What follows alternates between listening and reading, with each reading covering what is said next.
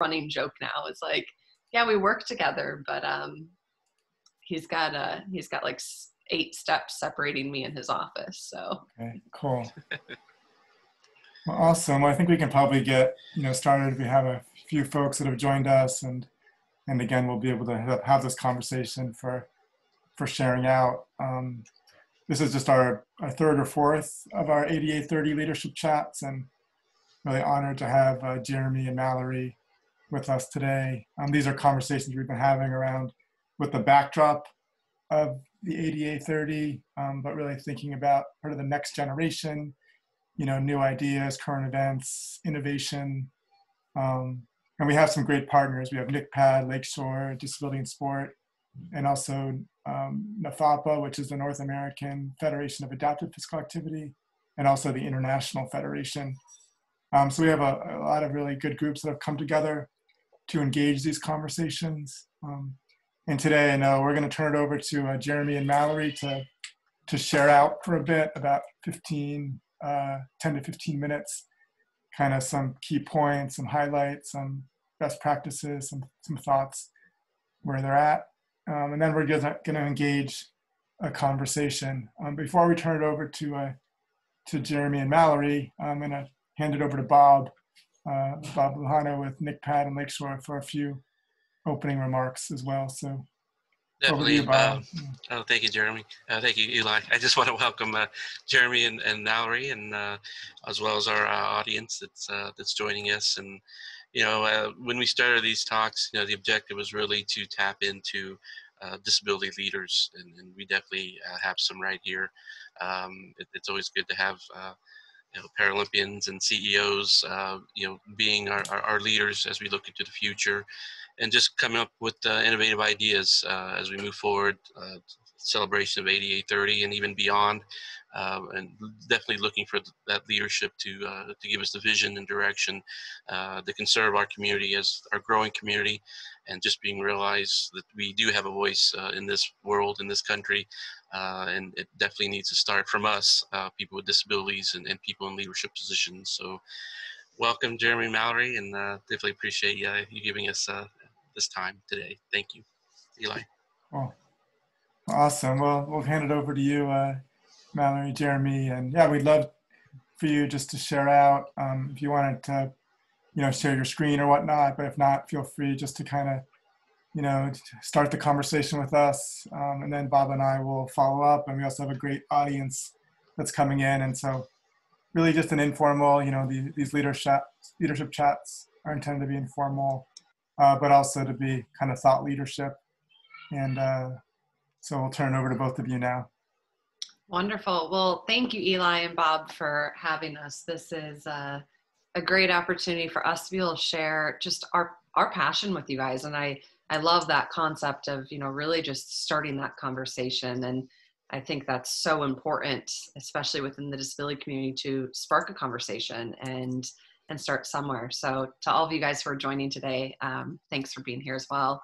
So a little high level, just background on myself. Um, I am a two-time Paralympian for Team USA, currently training for the Tokyo Games, which will now be in 2021. And I incurred my injury later in life. So I was new to the disability community in 2008. And I'm in that bucket where I, I still, all these years later, hate to admit, but I think it's an important part of it. Where for almost 19 years of my life, I was pretty much wholly unaware of the disability community at large. I, well, I grew up with a father who was partially deaf and I knew individuals in my life. I, I don't think I really understood the intricacies of the disability community, of disability rights, of adaptive sport. Like that was all foreign to me. And so when I was injured in 2008, I was I was paralyzed due to a medical procedure. There were some complications that left me as a T10 complete spinal cord injury. And it felt like that whole world was new. I, I didn't know the basics of how I was going to move about the world. But I also, bigger than that, I really struggled with this idea of seeing a path forward because, I mean, we're in 2020 and we talk about the need for greater representation. And obviously, I know in 2008 I was beyond privileged to have opportunities I didn't even realize I had because of the work that so many generations prior to me in the disability space had fought for. But there wasn't a lot of representation. And I didn't really see within my own community a path forward for what life was to be. And I think a lot of us can relate to that sentiment. And for me, my exposure to it truly came by chance. I was three weeks out of the hospital. I was at home on a Saturday morning reading our local newspaper in Minneapolis, and my sister saw an article about the 2008 Beijing trials for swimming. And they were being hosted at the University of Minnesota. And for my family and I, as we sat in Eagan, Minnesota around my parents' kitchen table, that was the first moment we heard about the Paralympic movement. And we went online and Googled it and looked it up. And I, newly paralyzed, fought against the notion that we were going to go to the pool that night and watch. I was like, no, no, no, no. It's snowing in Minnesota in April. I'm still new to this. Like, I'm staying home. And we ended up going because I have a very loving, supportive, pushing family. And we showed up at the pool that night, and my world was completely opened. But what I found in the 12 years since is that exposure point for me was by chance. And that's not an uncommon story for so many in the disability mm-hmm. community, whether it be sport, whether it be a professional ambition that they have. Finding a path forward isn't the norm. And once you find it, it's typically by luck.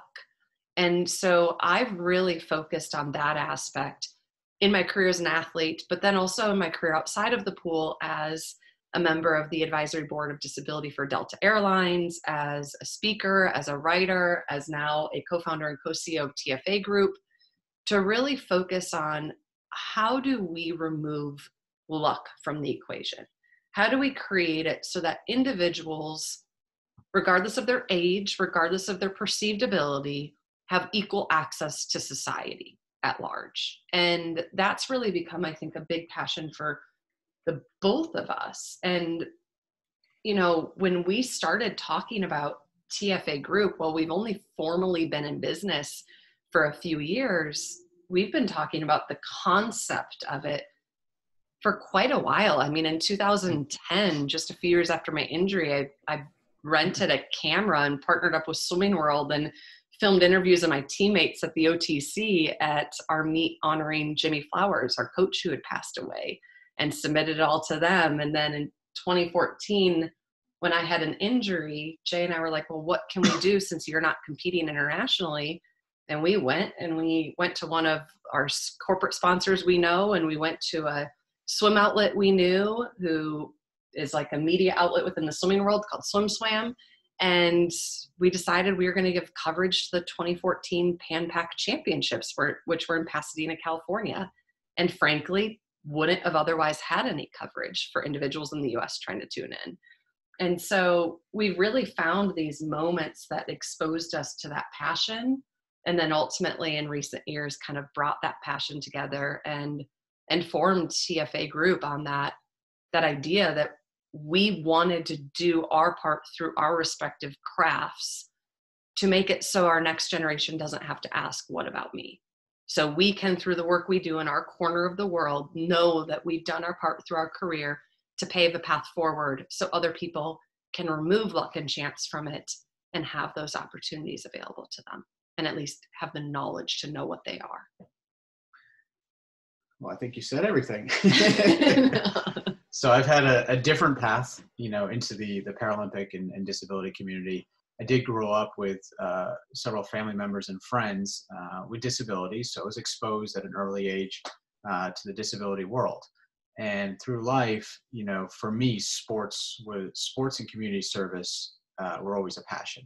And um, growing up playing sports, and ended up going to Syracuse, played football at Syracuse, and you know, wanted to move into the sports world and figure out how do I combine my business degree, finance and marketing with with sports, and how do I find that passion?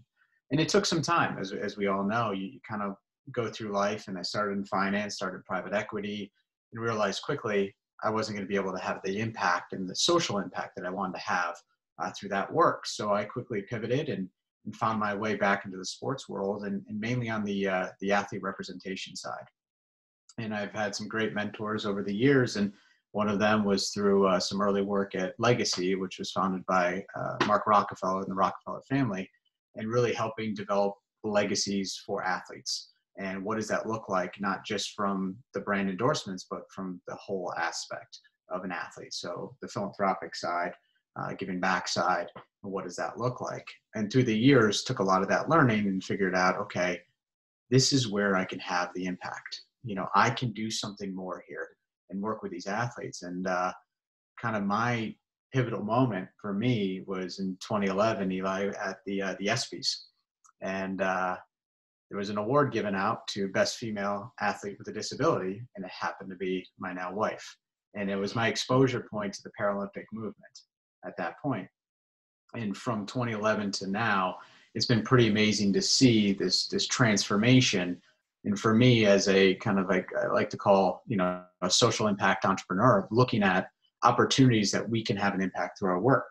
And that exposure to the paralympics in 2011 was my aha moment to say we need to do more. We need to do more in marketing. We need to do more in media. We need to figure this out and combine our relationships, you know, from the creative side to the uh, corporate executive side to the marketing side, agencies, and how do we move this path in a forward momentum? And Mallory and I would have constant talks before we dated of like, what what's the impact and legacy that we want to have? And we quickly found out that our values and our mission aligned so well that, you know, we ended up getting married four years ago now, and formed our business and kind of you know really honed in on what is the impact that we want to have through our business and through our life and it's become a true lifestyle business for us. And it's uh i mean it's it's pretty amazing. Uh, it's all inspiring to see how far we've come since 2011 to where we are in 2020 and where we want to go.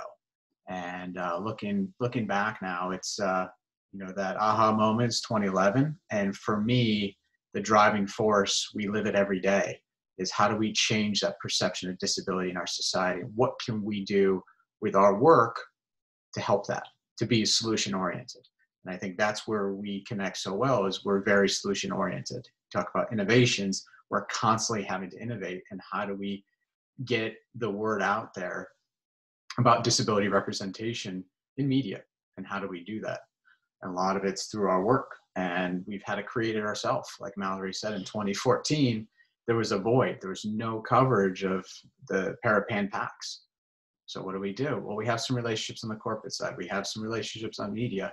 We have creative relationships, you know, and and kind of combined all those relationships into one team and said, here's our vision. Here's the impact we want to have. How can we achieve it so it's a win across the board for everybody? and that i think we came back after looking at everything we were able to do in the coverage and the videos the editorial said okay we're on to something there's something here this is just a start and little by little we just started continuing to build uh, our relationships across what i said like kind of the three sectors from the creative world uh, the uh, the marketing world and then the media distribution world and figuring out how do we kind of keep building momentum there and I think with that, one of the things we've really had to do, you know, you talk about innovation and solution oriented and all of that stuff. We are in a new landscape. I mean, yes, there is there are other people out there doing this, but the unfortunately the concept of seeing representation in the disability for the disability community in media isn't 100% proven and we still hit roadblocks. You get no's because corporations feel like if it's something that's a, a media driven property and disabilities included in it, then they need to have a special budget for that or a special disability strategy versus just realizing that's just part of the overall marketing budget at large. And so you do hit those roadblocks. And I think what we've really enjoyed is instead of seeing those roadblocks as no's, learning insight from them and insight from okay so where are the challenges what is it that we're up against and then how can we kind of back out create universality in the approach and come back in through a new lens and we've done that kind of over and over through that pivoting and finding ways you know to honestly create our own proof points i mean one of our biggest projects, which I'll let Jay talk about, that we start our first biggest project was Empty Net. And it's a documentary on Team USA's sled hockey team. And and Jay and I pulled our resources together and our relationships and we brought a team out to Pyeongchang. And when we went, we went with one idea. And when we came out based on the stories that unfolded, we ended up with this entirely different project in front of us that frankly didn't have a budget but we said this story needs to be told and we have the media relationships to make sure that this story is seen and we created our own proof point and we came together with our resources and said we believe in this story and we're going to do it. We're going to start this somewhere. And you know that's not sustainable for the long haul. And i do truly believe that we are getting traction in the community but it is about creating those proof points and mm-hmm. those concepts and like really seeing okay where's the, where's the solution? And some of that that's been really enjoyable for us has been it's not just educating the corporate relationships and marketers that we work with and the agencies but it's also been educating our talent pool of creatives that we work with. And it's been so fun to watch jay especially. He's done such a phenomenal job with this on projects and i've gotten to come in and kind of it's almost sensitivity training if you will as a, a, woman in a wheelchair with a disability kind of stopping our, our creatives and saying hey hang on i know that instinctually this feels like the right shot but remember we want to focus on person first disability second. And we want to get that tight up of their their facial expressions in that moment as they're saying this before we shoot to that tight shot of them wheeling their chair or whatever it is. And so just kind of reframing how people put, have put stories together in the editing room or how our dps film during projects and that has been really enjoyable for the both of us because we've both been able to bring our perspective and expertise to that table and i think one other thing because i want jay to share a few of the projects we've, we've gotten to work on but one of the other things that early on we really decided as kind of like our motivator when we sat our kitchen table, which is like our little war room at home, is there will be no's. There will be people that don't get it. And we're going to hit doors that feel like they're shut. And we have to figure out how do we stay motivated through that. And I think a lot of it has been we've realized that as a business, impact is currency. And so as a business, we need to step back and say, okay, yeah, you need to make business sense of every project you do. But for us, there these stories have such great impact and an impact on what's going to happen in our society in a year, in five years, in 10 years within the disability space and representation. We need to look at that impact as part of the currency, if you will, for a project and its driving force. And so we've really done that and found ways to make sure that we're not creating content that's just this feel good inspiration, but this empowerment and leading people to action because it's so important of how do you craft a story especially in the disability community. And i i live it every day. We live it together. Mm-hmm. and i know so many of you guys live it. And it is one of those things where you just want to be an equal. We're not sitting here saying we need special stories told about us or all this stuff. It's quite literally people with disabilities are doing incredible things and are a part of our society just as much as any one person and we need equal representation and how do we accomplish that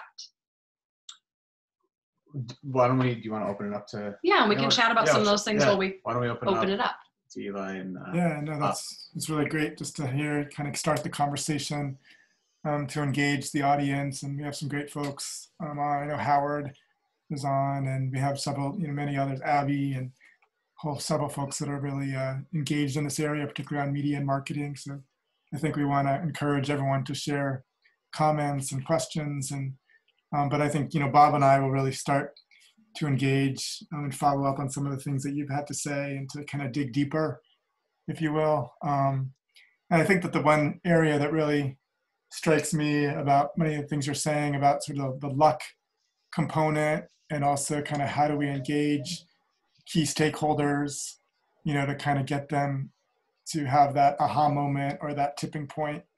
Um, I think part of it for me is how do we get, it seems like there is a little bit of a status quo of kind of this notion of disability as pity or the, the you know, the status, we kind of, the media and marketing seems to revert to this kind of one frame of uh, disability.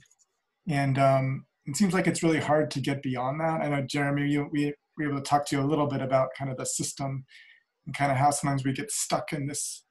Um, but I guess if part of the innovations you've done and every all your projects, it seems like you're sort of challenging that and trying to get beyond that. But um, yeah, I just hope I my you know kind of seems like with ADA generation is that one day we'll get to a place where we kind of don't revert back to that. Um, and so I was hoping maybe you could speak to that a little bit in terms of like how do we kind of continue to move beyond? I mean, obviously valuing disability, valuing uh, in, this notion of inspiration in sport is a key part of it. But how do we kind of get beyond like the pity factor and the and the kind of where we are with this the stigma, the the kind of the inspiration porn, if you will. Um, you know, have you found kind of key ways or, or kind of strategies you might suggest? Maybe yeah, to speak to about speak about that a little bit, I guess. Yeah, yeah, no, it's a it's a great question and, and something to kind of segue off of what you were just talking about of how do we utilize sport as that common language. You know, when we're sitting down with the corporate executives or agency partners and marketers, they all are are invested in sport in some level. They're there, they're invested in sport, they have a passion for sport. How do we use that passion and show them that this movement is no different? And a lot of it comes down to the creative approach, as Mallory was saying, it's kind of this person first.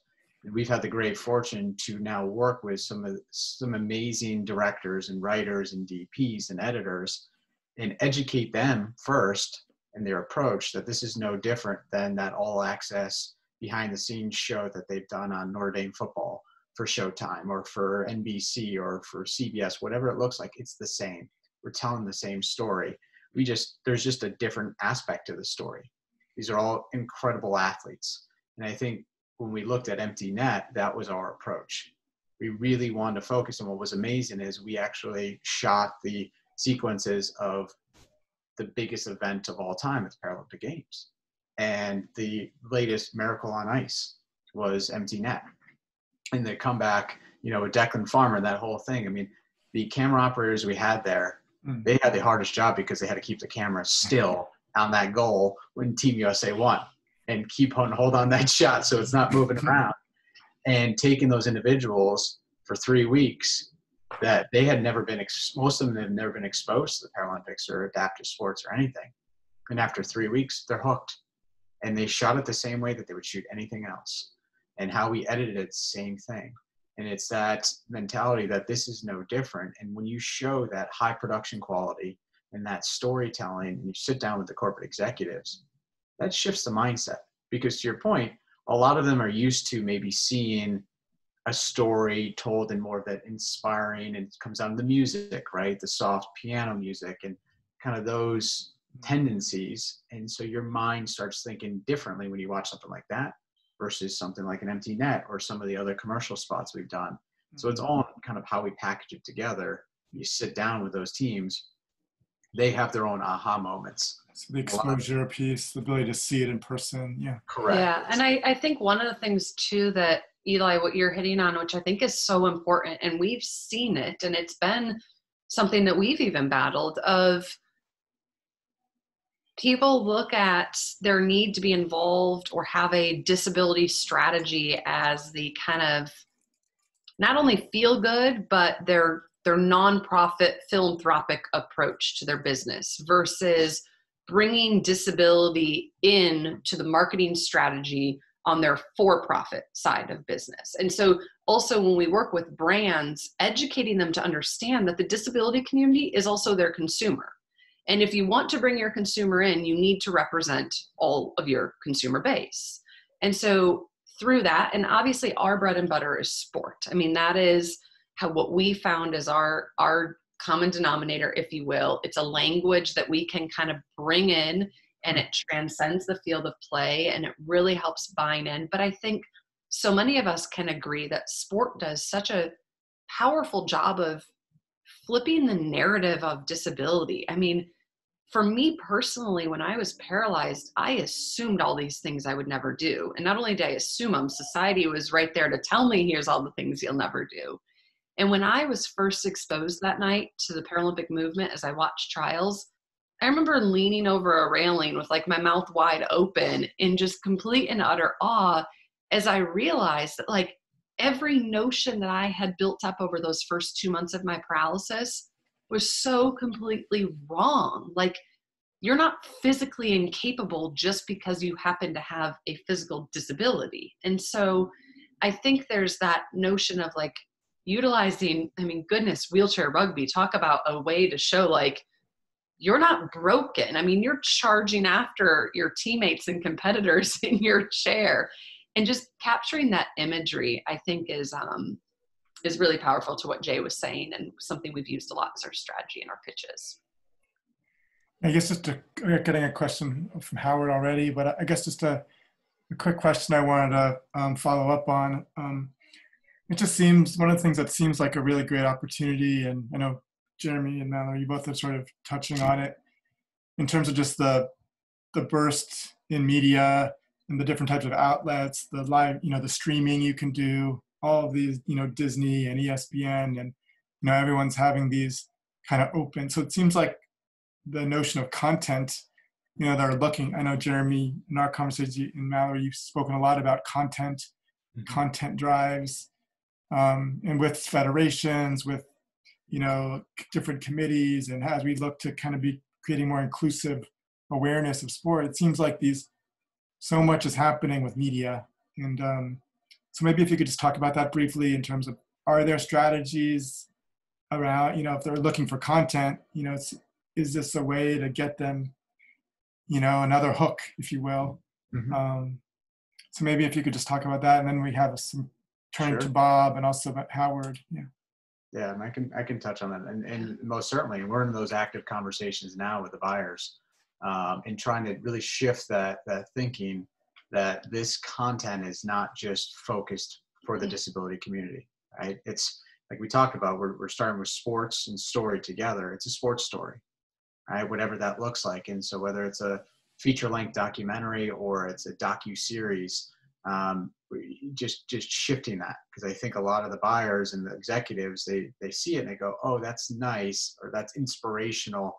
But is my viewer really going to are they going to watch that? Are they going to consume it right? they're all for profit they're looking for all these streaming services are looking for new subscriptions so will this series or will this documentary help drive viewers and the answer is yes but we have to show why show and we have to not just tell but show um, and so mallory and i pre-covid had spent a lot of time with you know a lot of different uh, executives on the buying side and, and production studios and influencers and sitting in those meetings. And it's amazing to see the shift in just an hour hmm. of their mindset and how they come out of that going, we need this. Of course we need it. We have to. And so it's kind of galvanizing a community to say, here's what we can do, and then giving them different ideas. I think that's the biggest thing we've learned is not just be stuck to one idea and say, hey, this is our idea, and just stay to it. It's like that's one of many mm. in different forms. And what does that take? So if if a network says, you know what, yes, we're interested in that topic, but we may be only interested in a one-off pilot episode. That's fine. It's something, you know, you know, and kind of build off of that and just start kind of looking at all the different outlets and how we can have our impact. And is there enough content? Becomes, yeah, part of it's yeah. where is the content coming from? Yeah. Yeah, and it becomes such a strong proof point in the in the um, the fact of you we kind of go in assuming who we're talking to has no exposure to disability and in that we educate in a way that hopefully gives us the opportunity to completely change the narrative around maybe how they would have been exposed if it weren't for you and I sitting down in a meeting. And I think where the content aspect is such a powerful point is what Jay was saying is the show don't tell. And you can't assume every individual knows somebody within the disability community has been to a adaptive sporting event or whatever it might be and so how you utilize that content in the in the aspect of show don't tell to help change that perception is where we take the ownership in how we storytell because we know every piece of content that goes out in 2020 lives online in some capacity and can always be rewatched. And that could be rewatched by somebody who lives with a disability themselves and is just trying to figure out where their path forward is and is gathering more information. It could be viewed by somebody who is a marketer and runs a marketing budget and is looking for strategies internally at their own corporation. It could be viewed by a buyer at a network. And so, how do you constantly make sure you're creating? I would say it's like a brand identity of sorts mm-hmm. around that conversation. So, the content, well, it's all different stories, there is a seamless approach to help kind of utilize that storytelling effort in a way that slowly but surely starts to kind of change that narrative and perception. Excellent. I guess, um, Bob, I think we'll go and turn to Howard's and then follow up with some question. So uh, Howard's asking great question to Mallory. Um, can you speak to what you think the swim community from grassroots to the elite level has done well to bring people with disabilities to the sport what they could do better? Also, what you've both seen in sports across the board as best practices and good models. Really excellent question. So yeah, no, Howard, that's a great question. I think one of the things that we've seen change a lot over the years in the sport of swimming in particular has been the involvement of athletes with disabilities in mainstream competitions. Um, and so for USA Swimming and within, I don't know how familiar you are with the structure of swimming, but within USA Swimming, you have all the local swimming communities, as we call them. So Minnesota is an LLC LSC and you have them kind of for each state roughly. Some are regional based on the size of the area. Um, so it really years ago started kind of at that, I would say, grassroots level in the local swimming communities. So I know for me personally, after my injury, I swam in pretty much every single mainstream meet in Minnesota that I could swim in because A, I just loved to race, but B, it was a way to showcase adaptive sports in the kind of mainstream forum. And so we really have done a lot of that in the swimming community. And now you see a number of our athletes who are competing as a part of NCAA collegiate teams. I myself had an opportunity early after my injury to compete as a D1 swimmer for a semester before I transferred out. And, you know, I think that is a huge shift we've seen, which what that creates is not every athlete becomes an Olympian. Therefore, not every adaptive athlete is going to become a Paralympian. But right now, at least when I was in high school growing up before my injury, I knew I was never going to be an Olympian. But if I wanted to compete in college, there was a path forward for me beyond high school. And so, for so long, in so many sports within the adaptive sports community, swimming being one of them, there was no path forward. It was like, you swim at a regional meet for para swimming then you maybe go to can-am championships which were our nationals and that's about it and so now that we've mainstreamed the sport more and more and there's granted still a long ways to go but it's allowed swimmers to get involved in a way where they may never want to go that far they maybe just want to swim on their high school swim team and maybe look at options to have a collegiate experience um, and so I would say that we've done a really good job with that because I know that has been an effort that US Paralympic Swimming has been involved in helping guide collegiate programs and local swimming programs. Um, and that's a big thing that's changed in the past 12 years that I've been involved in the sport. And I would say on that aspect, I think one of the models that I'm always fascinated by is like what wheelchair basketball has done with some of their collegiate programs. And the fact that you have athletes who are going to schools on scholarships as a part of the wheelchair basketball teams. And i think if we could find a way to use that model and i don't honestly know enough about it because wheelchair basketball is so foreign to me as a swimmer but there's a lot of things that you're seeing and i think that really helps build that grassroots effort because it gives athletes coming into sports just like a able-bodied athlete if you will. I hate that terminology which is why i always do the air quotes because i don't know what else to say.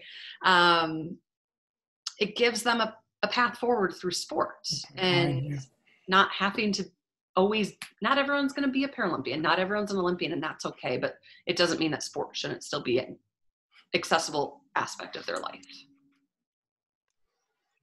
so i don't know jeremy do you if you want to add to it at all just overall sport federation yeah, or mallory think, just kind of broader also in terms of how uh, sport federations are engaging and yeah, no, and you talk about that. I think USA Hockey's done an incredible job. Obviously, you yeah. got to know them well through Empty Net, but following them and what they've done in terms of creating content.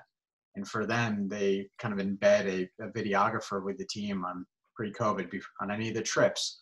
They would be, uh, you know, filming interviews and content, editing that, and getting that out. It's no different than you see than an NFL team pushing content out on their social channels.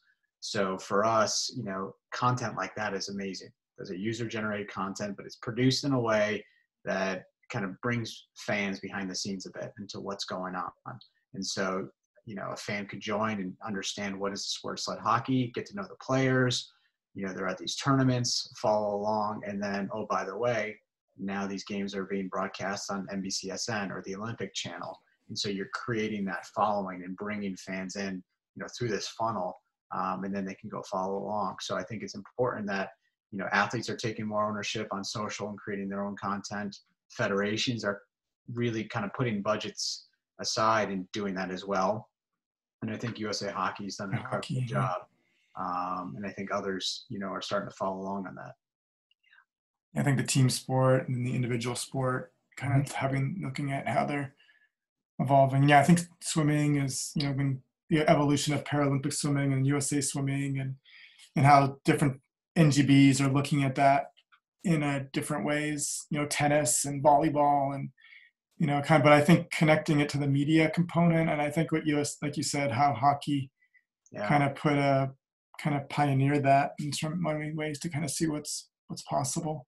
Yeah. Um, I guess I'll turn it over to Bob. Maybe Bob, do you want to maybe that conversation around innovation or, or kind of wherever we went ahead. And then we'll just so we could we are thinking we could talk to you all for about three hours or more. We always have things but I'll, I'll, turn over to bob now. Yeah. Just block a half kind of half of your day off.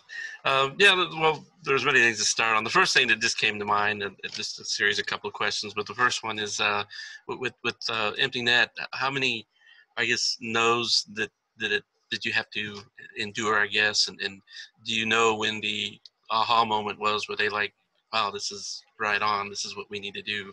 And did it take very long? I'm sorry for the rapid questions, but no.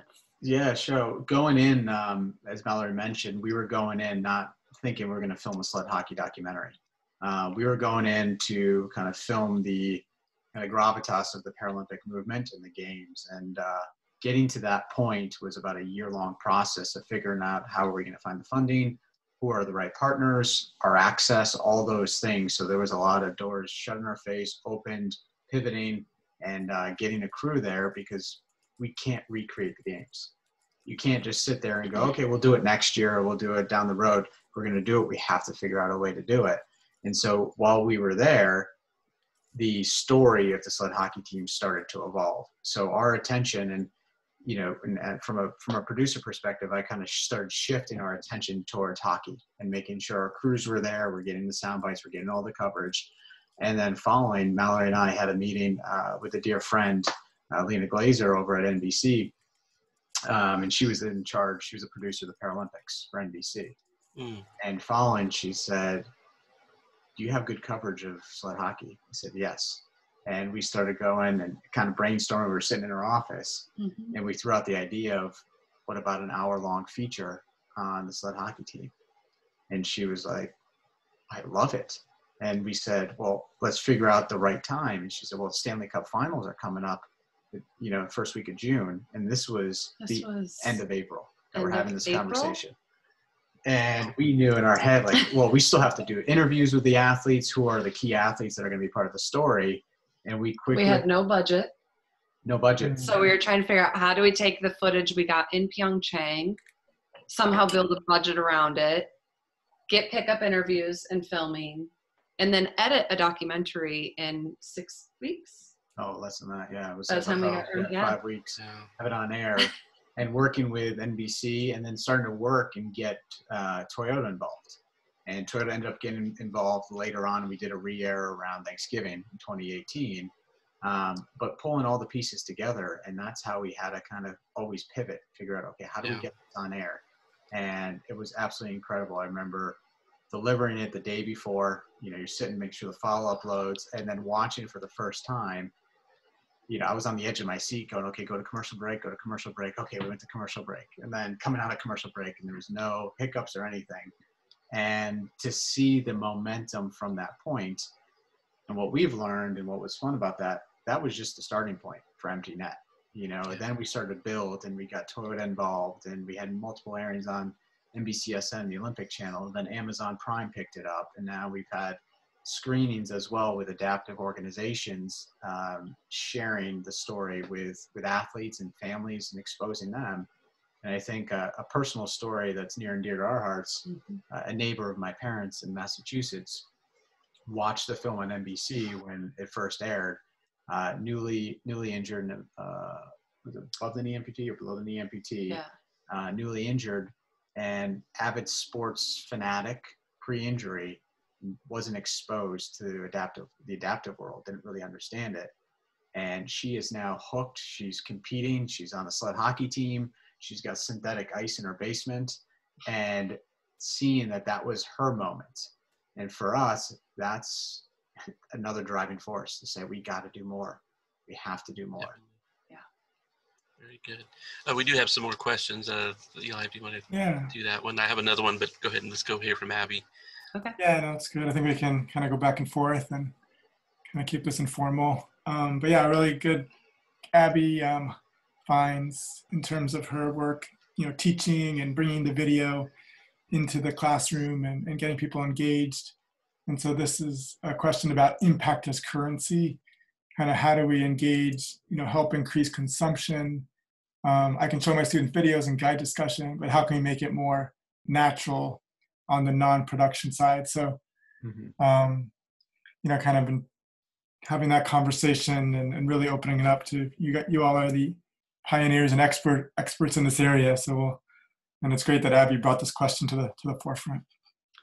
Yeah, Abby, that's a great question. And you know, I I, I would kind of piggy off to what Jay just finished in saying of the exposure is such an important piece of this right now, right? There's still, we're getting more and more content out there by the day it feels, but there is, there's still a need for, for that exposure for so many individuals like Rebecca. Mm-hmm. And it's really powerful to see that. And I think when we look at impact as currency, that right there to us is a success story. And so I think some of that came in for us early on and when we were building just kind of about like the business model of our company and knowing you know how do we how do we deem success stories as a business and so not always looking at it as a financial success but also an impact success if you will like rebecca and i think for you you know that question of increasing consumption and i love your example of showing your students and i, I think that's huge and and guiding discussions that allow it to just like Eli keeps saying, you know, this is kind of an informal conversation of just ask questions and let's just talk because I think so often in disability, we're afraid to talk about it because we don't want to say the wrong thing. And then we don't talk about it. And then it doesn't do anything to move the needle. And so I think there's an element of we need content out there so people can see it. And then that content needs to create intrigue and yeah maybe some curiosity so somebody asks the question of like well that's really cool i'm trying to understand like wow how, so how does that work and then guess what now there's enough content you can go out and find something else and and look that up and you can maybe see an example of it but i do think that those conversations and discussions following allowing them to be as open as possible while still being respectful conversations um, is part of the importance of the other side of this coin. It's not just about having content out there, it's about getting that content into people's hands so they can see it and digest it in a way that now sparks a conversation around it. Because, I mean, anybody who lives in the disability community knows that we are all met with this notion of like, don't stare. Well, okay we're told not to stare because it's rude because something looks different. And that's a whole separate conversation but it kind of goes into this idea that it's like well that if we never talk about it because it's uncomfortable then we never change it and so that's where i love this idea of bringing things into the classroom mm-hmm. goodness gracious and let them ask questions and and figure that out and let that intrigue kind of be sparked and so that's where we view mm-hmm. impact as currency in these kind of mm-hmm. success stories if you will yeah excellent yeah I, I, just also wanted to follow up in regards to a little bit of thinking about innovation uh, considering our, our current um, uh, our, our, new normal i guess with, with covid uh, Jeremy, Mallory, do, do you feel uh, there's going to be some challenges production wise as far as how you're going to uh, bridge that gap, if you will. Um, you know, what are some of the conversations maybe you're having now or, or hope to have that would help in, in continuing this great work that you're doing, uh, considering we're in the midst of, of, of, the pandemic? Sure. No, it certainly is a challenge. Um, you know, the first few months with everything on lockdown and quarantine, it was no no travel, nobody's out and about, and we're constantly trying to figure out, okay, how do we how do we get our content out there? Fortunately, we had our, our latest film, Fresh Tracks, that had been finished and in film festivals. So it was a quick pivot to virtual film festivals and then getting the distribution. So that's, you know, our, our latest film. Now it's figuring out, working with brands to say, okay, we can still film uh, very safely. And I'm not getting on a plane. I'm sitting behind my computer doing interviews uh, remotely like we're doing now. Um, but finding those creatives uh, around the country and reaching out to them blindly. There's a few we've already you know been introduced, and I haven't met them in person, but we've had them you know out on a location because we're not traveling there, and we just have you know a jack of all trades who's the videographer, the editor, and sound guy, and going in and, and getting some incredible content. So really adapting to the environment right now and figuring out okay we're not going to stop but how can we continue to create it and one of the things we did personally on our end with with Mallory is we created a, a social series called uh, Spark a Conversation. Uh, you know, Instagram lives that Mallory took part in. I think we did 13 episodes. 13. Oh, wow. Season one, as we're calling it. Um, it took a, it took a little break. Uh, it's going to start up again after the new year. Yeah. They were weekly, and so we wow. we did yeah 13 before we took a break on them. But it was our way to kind of control a little bit of the conversation and, and, and distribution because we could do it from the confines of our home and somebody else's home. And so I think now as we look ahead, we're starting to figure out what can we still do. We have a new documentary that's in production and it's all around kind of the healing powers of nature and outdoors so we can do things safely outside. Um, but as we look ahead the next few months, it's going to get hard again. But what can we do? Let's not stop. And it's constantly, to your point, Bob, of, of you know innovating getting creative and you know we're now nine months into this and you know brands have gotten really creative in accepting the new virtual world and you know the production side the distributor side but i think the biggest thing is constantly making sure story first and making sure our production quality is on par with kind of the brand and what we're trying to put out there. Awesome. We have about you know 10 more minutes or so and you know ted and sean and uh, several of the others that are on, you know, Howard again and others just to continue to engage. Um, I guess one of the questions that I, since we have you all, this is a great opportunity to, to have you, you know, document your thoughts right now. And part of the question is about the future. So if we were to look to, you know, 10 to 15 years from now, and we've seen a lot of progress over the last, you know, three to five, and even you know you know since 2011 really you know that kind of growth in the last seven to nine years really um, but if you were to project out you know 10 to 15 years from now and particularly on the media marketing side in terms of like what you might see as like some things we just haven't thought about or seen before or or things you'd like to see um, kind of a big question but you know how answer however you'd like you know even it's a couple ideas or a couple thoughts on like where you see the media marketing space in, in 10 to no I, I, don't have a smirk i'm just you you start. Yeah i'm sure you've got thoughts on this one. Yeah the smirk. No. he's like yeah, yeah. got a few thoughts. Yeah, um, but obviously maybe some like things you don't want to share right now but no no, no eli i think that's a great question and i think that that's that's the area that we love to exist in as well. We like to be solution oriented and you know it's a, a, conversation on innovation and pivoting and kind of just like really being creative in the moment there's also something really fun about looking at that long-term roadmap and dreaming and dreaming up possibilities. Um, i really do think that in the disability community at large even outside of the paralympic movement which obviously sport is kind of our niche but i would say the level of representation that not only do I hope we will see, but I, I truly do believe we are going to see in the next decade in our society in so many ways. And I, I really, the optimist in me hopes I'm, I'm right on this one. I think it's going to happen in a way that even right now in this conversation, we probably can't even predict. I truly do believe that the Paralympic Games coming to the US in 2028 is going to completely change our landscape. And the beauty of that is we know it's coming. And so we can start planning, we can start building out proof points, we can start laying down concepts and all these things so that when it does come, that foundation has been built in a way where we can maximize the momentum that it creates and carry it forward.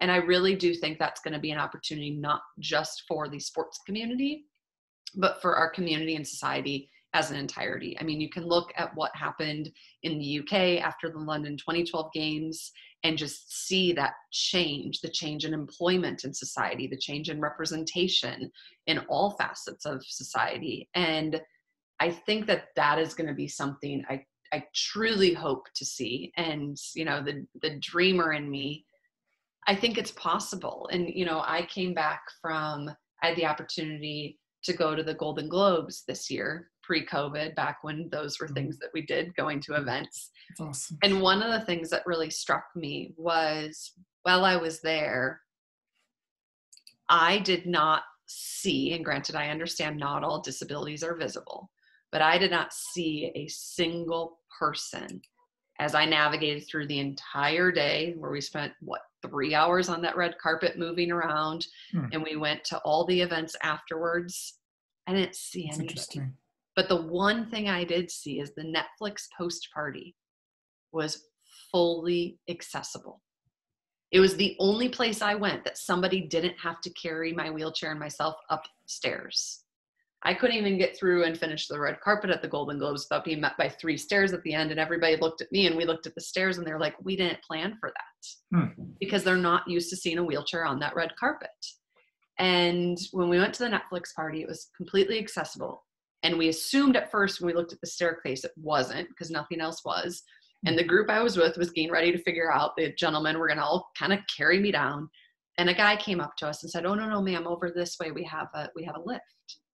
And I went, I sought him out afterwards and I thanked him. Mm. And he said, in the in the planning of this party, we wanted to make sure that anybody who came through these doors could enjoy the experience. Mm and for me it was like there was that element a little bit of kind of frustration earlier in the day but then when that happened it was like but we're getting there yeah. like it's there we're we're scratching the surface and it, it's mm-hmm. happening and if we focus on that and highlight that it's only going to keep compounding on itself. And so it i think seems like entertainment fa- more people. seems like entertainment and fashion are making some and that's gonna I, I do think that that's gonna change because those are the places that we see representation. Our magazines our tvs our all of those kind of media platforms that's that's where we see things. And it, it's really hard to become what you can't see yeah. and we need to see more and i think we will. I, I really do yeah. I mean i'm that's a, a great point about how does sport catch up to those yeah yeah. No i think i think just kind of normalize it so when we're watching tv and watching some of these commercials it becomes normal to see and we're start we're getting there. I mean last night we were watching uh, a show microsoft. yeah microsoft came on and, and it was two individuals signing back and forth. And we both stopped and we're like did you did you just see that did you just see that? You know we're starting to see but get to a point where we're not stopping ourselves saying hey did you see the individual in the, in the chair or the amputee or you know the individual signing? It's becoming normal that it's an everyday occurrence. So the more we can show that then it becomes ingrained in our society that it's not they're, they're used to seeing it. That's how commercials are and they're evoking that emotion. So kind of normalizing that and then flooding our content and between the, the streamers that are out there that are starting up and, and pushing content out there, that mm-hmm. it's not, you know, one documentary a year on Netflix. I mean, we've got, I think, seven shows this year that were announced on the anniversary of ADA, which were great. Let's move seven to 20. Let's yeah. do 20 to 40, you know, quickly on a yearly basis. Let's not wait and uh, leverage the LA games coming um, here now, you know, seven years and let's push hard. And in scripted, let's yeah. see roles of people with disabilities played by people with disabilities. Like, yes. we not only need to see it happen, we need it to be authentic to the community. There mm. is a massive talent pool in the disability community. We are not short on talent. We have so much untapped potential in our community. And garnering that and bringing that in and bringing it to the forefront. I mean, you have Ali Stroker, who just won a Tony. And Exactly. Mind you, she won a Tony and then she couldn't get on stage to accept her Tony, but she won a Tony. Okay, like we're getting progress, and so I think there's there's aspects like that where then this conversation of that questioning like kind of comes out of sport. And yes. in my opinion, I think sport is what allows that to happen. I think LA 2028 is going to change the landscape and normalize it in a way like Jay's saying that we also realize the human potential of people within the disability community and it opens the door to opportunities wide and large across the spectrum. Excellent. Well, good. Well, thank you for just, it's great to have you, you know, kind of share those comments and those reflections. We have a couple more minutes and I do have uh, kind of one last one. It's more of a personal kind of a reflection question and your leadership roles. Um, as we're wrapping up, I know there'll be several folks that will probably want to, you know, follow up and engage and maybe you know share if you're willing to share your contact info and all that we can do that um, but yeah i think it's always just you know interesting to hear um, you know what what um, kind of engages you like whether it's a book or a movie or or just a practice that you have each day um, to kind of keep you engaged. And so i thought perhaps you could share kind of that like is there a, like to this audience here and to us from a kind of you know what what are those books or those movies or what's that practice that you have on a daily basis? Um, i know jeremy's the other day spoke to me about kind of his three his three principles and things like that um, but perhaps you could just share briefly as we wrap up in the next couple minutes. Yeah you want to go first he always do this he's such a little i'm not going to finish that sentence he's my husband i love him i don't know if any of you work with your spouse but i highly recommend it you might end um, up in separate rooms by the end of the day. no, I love it. We don't get sick of each other yeah, usually. No, no. Um, so, Eli, I think that's a great question. And one of the things that it kind of sparked for me as you were talking is this notion of knowing your why. And so, while it's not a movie or a book, it's it's more of a practice. Um, so for me, I and honestly, this is how Jay and I fell in love. I mean, he he started the story of saying we we were exposed to each other. He more so to me at the 2011 ESPYS because he was sitting in front of my mom and dad, um, and we kind of met by chance and we started working together. He became my agent, and through that we had a lot of conversations about what did I want for a career. I was at the beginning of it. I haven't gone to a games yet but what i what did i envision for my career and my legacy as an athlete in on the field of play and off. And I think it really stemmed down to this this concept of your why. And as a kid, my dad really always encouraged us to know it. And anyone who meets my dad in a in a professional setting, especially, he'll ask you, "What's your why?" Like that's part of what he just wants to know with anyone he's surrounding himself with. And a lot of that rubbed off on me. And when we met and started having those conversations, we realized that was one of the things that was mm. fundamental to the both of us. And that concept that knowing your why in terms of what it is that you're doing, who you are as a person, is what guides you, not just personally, but professionally. Because to us, we don't see it as two different things. I'm not different in a professional setting than I am a personal setting. I'm, I'm just as dorky right here as I'll be when we get off camera. Um, and that's just who I am. And I think there's a lot of truth to just being authentic in that and all that you do. And so for me, that daily practice would be honoring honoring my why and through the moments, whether they're the highs or the lows, kind of doing my part to make decisions each day, whether it's in a day like today where admittedly I woke up super overwhelmed and taking a minute to turn some music on while I get ready and just slow down to remind myself what is it that I'm trying to accomplish today? Here are the things I'm grateful for in this moment. And this is why I'm doing what I'm doing. And I think that's a big thing for us. And, and I think as I keep talking about my why, for me, it stems back to a phrase my dad told my sisters and I every single night. Um, and growing up, it was just part of the daily routine. And he would tell us, You're the best, you can make a difference, and you can change the world. And I'm not saying that I'm going to go be the next, you know, whoever it mm-hmm. is with the profound legacy, but I do I do believe wholeheartedly that every single one of us has mm-hmm. the power to do those three things. If we simply get up every day in a way that honors our truth and we give our best in whatever it is that we're doing. If we do those two things, we will compound those into making a difference and changing the world in some capacity through our craft and our community. And so I think for me, that's that's really what it's about. What's about when I go to the pool and when we sit down at our dinner table as a husband and wife and plan out our personal life, and when we plan for our next project. It's honoring that.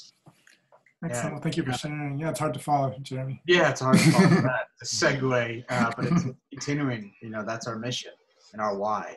You know, and I get up every day and fill out a gratitude journal, and very grateful that individuals put their trust in us to share their most vulnerable stories with the world. And we carry that with us. And we've had the great fortune to to meet some incredible individuals. And you know, one um, is no longer with us. Her name is Grace Bunky, and you know, we had the honor to share her story with the world. A young 14-year-old uh, who uh, succumbed to osteosarcoma and her story i think is is for me and i know we've shared is our driving force. And how can we continue to share more and share these stories out with the world? Mm-hmm. and they need to be told. And people are putting great trust in us and we have a lot of responsibility uh, to go out there in the right way to tell the stories. And that's how i mean i'm beyond grateful for that every single day.